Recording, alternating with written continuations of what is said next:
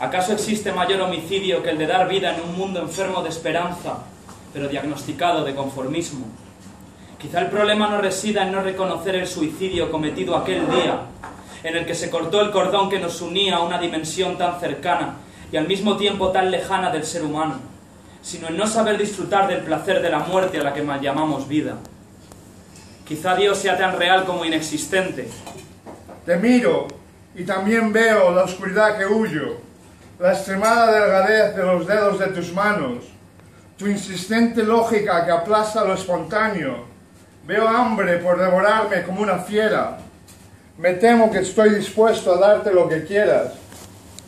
No quiero escribir este poema de amor, porque quizás lo leas y te escapes. Busques un campo más fértil para tu segadora. La hierba de mi amor crece salvaje. Tú ansías una cosecha generosa. Te ofrezco los restos escasos de mi alma. Nos quisieron arrebatar las letras para ocultarnos sus engaños. Una vez que perdimos el miedo a las represalias de sus falsos dioses, se dejaron de representantes. Ya no temeríamos al Dios de los poderosos, sino a los poderosos mismos. Ellos serían la ley y el miedo. Soy nieta de cuenca minera. Por eso sé que cuando decimos tierra, es dura roca lo que significa. Provengo de ese sitio donde abundan las viudas, porque el hombre muere joven por alimentar a sus hijos. Somos poetas entregándonos en el escenario, masticando al micro la libertad de ser poetas líderes y construir fenómenos. Sabía que estaba muriendo y pensé, Dios mío, hice todo lo que pude según lo que sabía en cada momento, pero no podía aguantar. Por favor, ayúdame. Inmediatamente la negrura se tornó gris, pálido, y seguí moviéndome, y deslizándome con rapidez, hasta que enfrenté de mí y resistí, y pude resistir. Sigo confiando en ti, tú tan tímida, sigues estando allí, tan callada. Quiero que me hagas de guía, no quisiera perderte, no quisiera dejarme. Sé que no debe haber miedo, sé que te quedarás. Puedo verte, tan hermosa, tan oscura, tan bella. No quisiera dejarme, tú tan callada.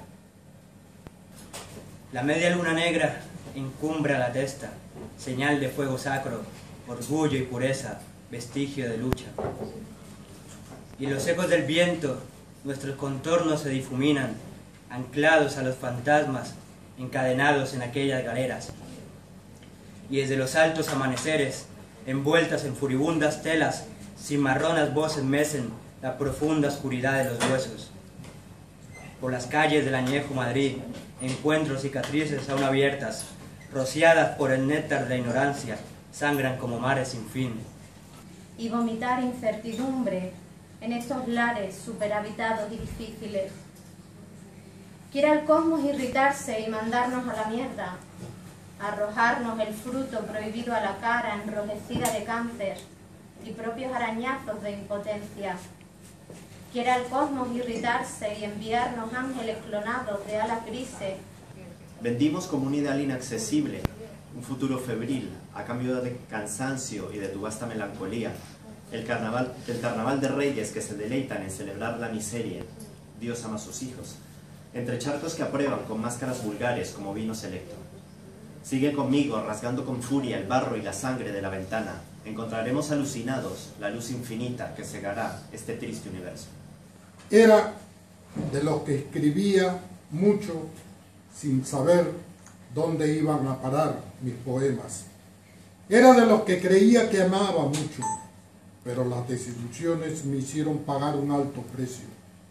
Era de los que se refugiaban en el trago fuerte, sin importarle lo amargo que sería la vida en el día a día. El negro de tus uñas ha hecho que vuelva la noche y sus matices. Al final caíste muerta sin haberte duchado un martes de carnaval, porque así muere un rebelde, como un cuadro de Rivera pendiente del sol, mordiendo el gotero y la bomba de oxígeno. asustada y herida por la cantidad de farlopa que se consume hoy en día en los despachos de España. Pasa la comedia del mundo. Hay que fingir felicidad, aunque todo sea una mierda. Ni siquiera la muerte los detiene. La comedia es eterna allá arriba. Esconde tus debilidades. No dudes nunca. Finge seguridad. Solo los enfermos dicen, el mundo está mal hecho. Yo soy el que vaga por las calles. Yo soy el que duerme en los parques. Yo soy el que golpea tu conciencia porque soy la inocencia muerta. Igual que tú soñaba con aprender de mi madre. Igual que tú, abrazado por mi padre. Pero me golpeó la mala suerte, llegó sin avisar, oliendo a muerte. Apesta la complicidad del gobierno y de sus asesinos a sueldo. Abusado y golpeado en cualquier parte, soy la víctima que llaman culpable. Como la sonrisa cálida de gélida patinadora triunfante en su paseo por el filo interno más hendido e hiriente. Como los restos del festín, buscan la proporción del placer en el estómago agradecido de un camarero enamorado. Mas mi sonrisa se ha congelado en el fondo de un pozo iluminado por la luna. Saborear la húmeda arena de las viejas tradiciones, mascándolas como un chicle viejo que hace tiempo perdió su dulce sabor. Lo cabal es entonar con sentimiento cada heroico acorde del himno nacional, calar con alegre desenfreno las victorias y derrotas de la selección, ondear con gusto la bandera. Lo humano es ser ciudadano, ese carnoso sueño del fango, pero algunos de nosotros no somos de ningún lugar, nacimos guijarros arrastrándonos por salvajes ríos. A la gente intentaré armar algo con ella. La palabra al azar. Amor. Amor. bueno. Malabar. Malabar. Tubería. Tubería. Y otra. No cualquiera. Saudade. ¿Cómo? Saudade. Saudades. Que es en brasileño, ¿no? Y es en castellano. Portugués. Y en portugués. ¿Qué significa? No sé traduce, pero es como la nostalgia. La nostalgia. Nostalgia, saudades. No sé. Amor, tubería, saudades y era. La nostalgia. Malabar. Y Malabar. malabares. Eh, la discordia sexual, el amor como transferencia, la sinuosa trayectoria del uno. Intento no ser uno, dividirme en dos, acercarme a Lacan.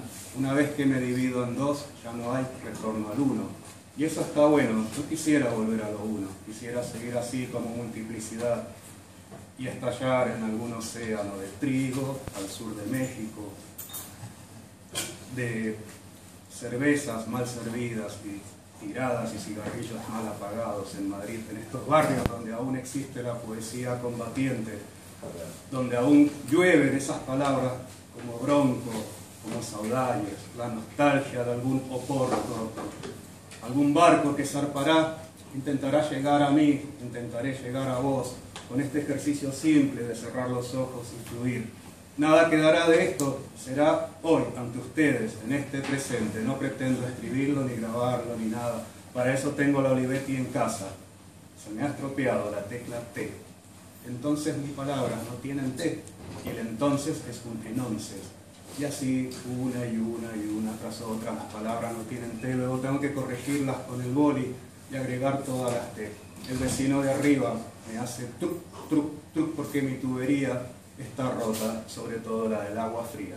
Y eso lo padezco ahora en invierno, porque no tengo agua con qué lavarme, ni siquiera con qué poetizarse, ni, siquiera con qué poetizarte, ni poetizarme, ni poetizados, ni nada de aquello que simplemente sea fluir y hablar y hablar. Y quizás esto estaría mejor en un diván, no lo sé, no lo sé, ni me interesa, ni siquiera intento serlo. Tan solo ser un gesto de amor, hacer algún malabar, hacer malabares con la palabra, caer y volver, empezar, escribir, fluir, como lo hacía Joyce, como lo hacían los antinovelistas.